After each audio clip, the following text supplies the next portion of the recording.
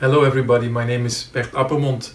Uh, I would like to send you a short message uh, of hope because I know everybody is going through a difficult period now. We can't make music together, which is terrible, you know.